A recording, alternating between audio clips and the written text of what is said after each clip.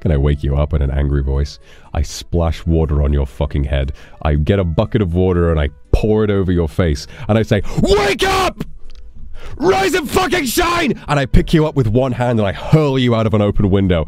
Get out of here! You will never be more awake. I will kick into your survival instincts immediately. Probably should have turned my gain down a little bit before doing that, but you know what? It was a little bit funny, wasn't it? It was a little bit funny.